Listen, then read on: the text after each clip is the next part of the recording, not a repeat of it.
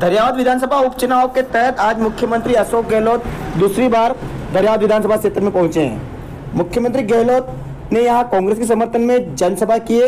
वहीं इन सभाओं के दौरान ही मुख्यमंत्री अशोक गहलोत की एक अनूठी तस्वीर सामने आई है, जिसमें इन्होंने दिवंगत विधायक गौतम लाल मीणा के घर पर जाकर उन्हें पुष्पांजलि अर्पित कर श्रद्धा सुमन अर्पित किए हैं। वहीं इस दौरान इन्होंने गौतम लाल मीणा के परिजनों से भी मुलाकात की।